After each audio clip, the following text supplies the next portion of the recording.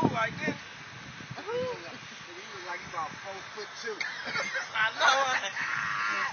like, that nigga really get out and stand next to Jordan, nigga. Oh, y'all crazy.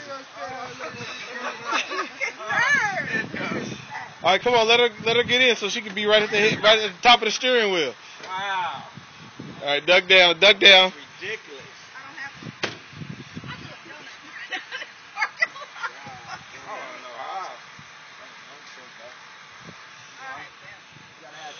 Of the wheel. I understand. You don't want to be too Now they far. control of the wheel. She can get reach the pedal. That's why the motherfucker up there like that. Shit.